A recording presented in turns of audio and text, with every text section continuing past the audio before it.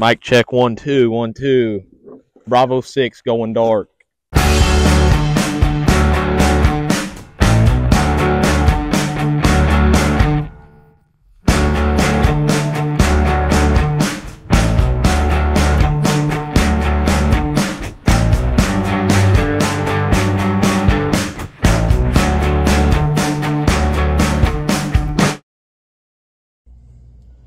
Duck hunting's always been about the experience for me.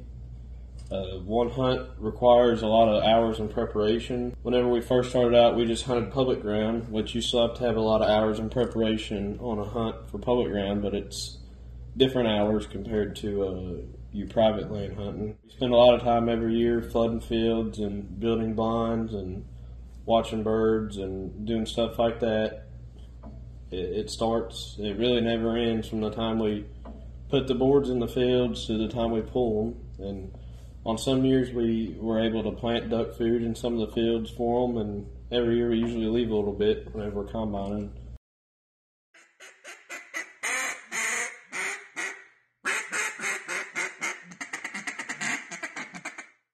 Ready for action. This is our latest and greatest innovation here on the farm. Little something we put together called the Mallard Motel. Jimbo Fields gave me the idea for the name.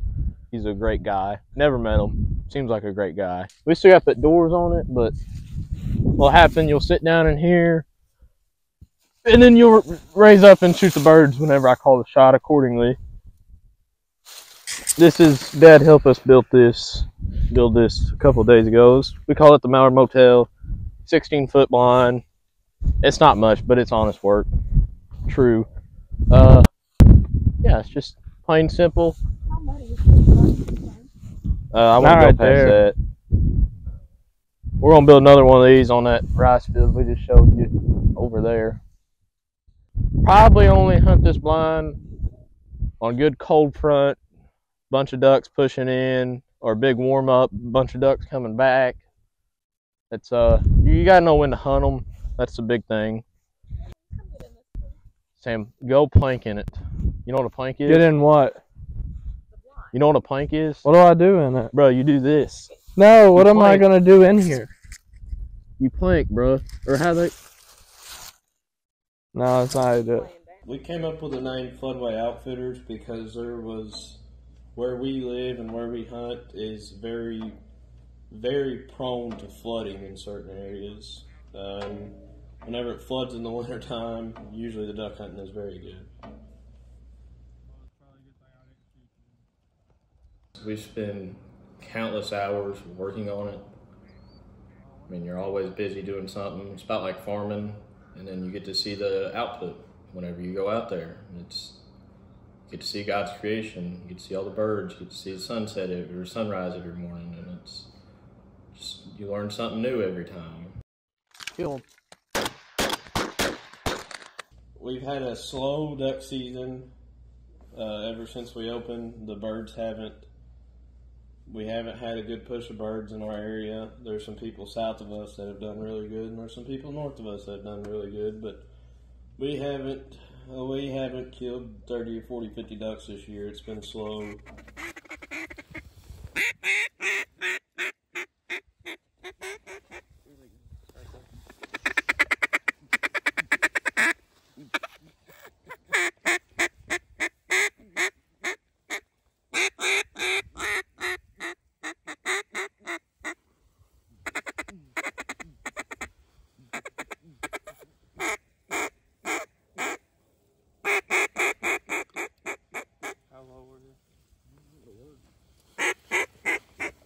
I'm hoping that we'll get a good weather event to come through and bring us plenty of rain to break the drought and push ducks in our area. Even the ducks that we had in our area, they weren't. Uh, they would just sit on one field all day. They didn't have any drive to uh, feed.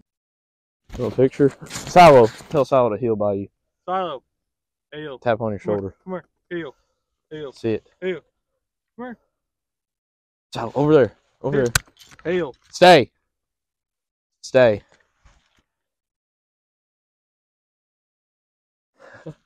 Dude, that is a beautiful bird. That's a stud. Oh my goodness. Alright,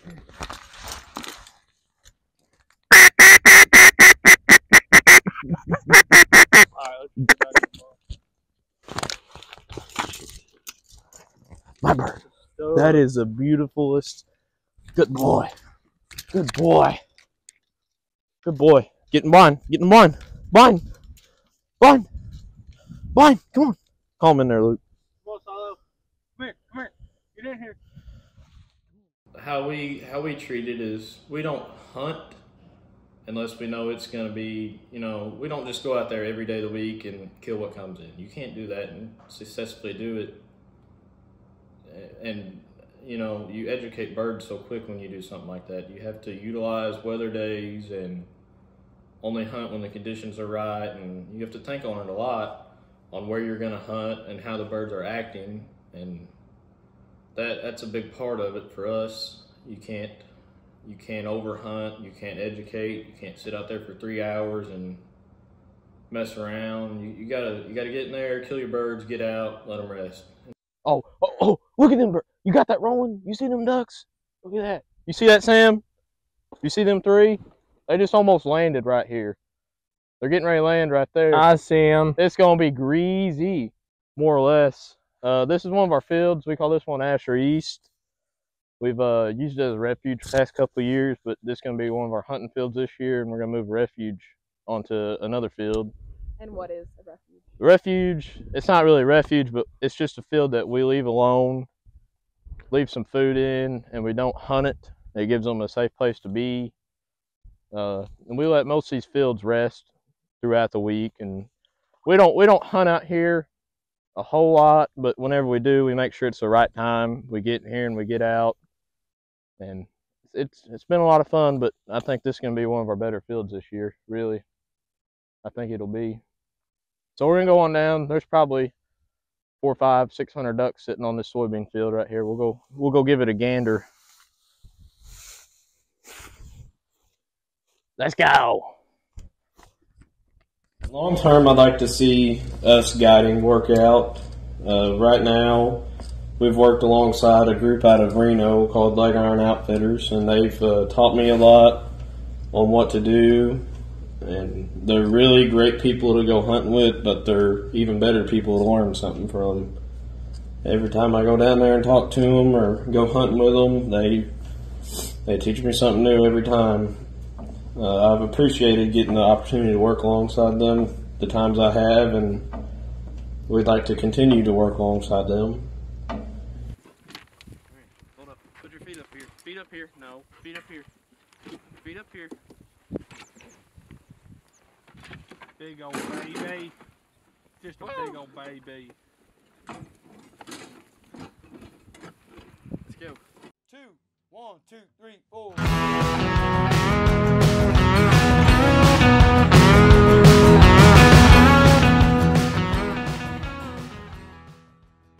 Yeah, we need to put the floor down or something. I ain't worked on that. Got some rice though we'll put on sides. We'll do the rest with oak limbs. We'll call it good. We just haven't found time. Oh, I know y'all didn't hear that. Moving on, keeping strong and finding God. Find it awfully hard, we made it here. A few good friends on the longest night, getting high